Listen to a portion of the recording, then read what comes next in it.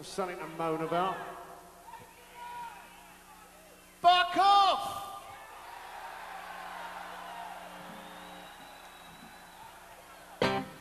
No, fuck you!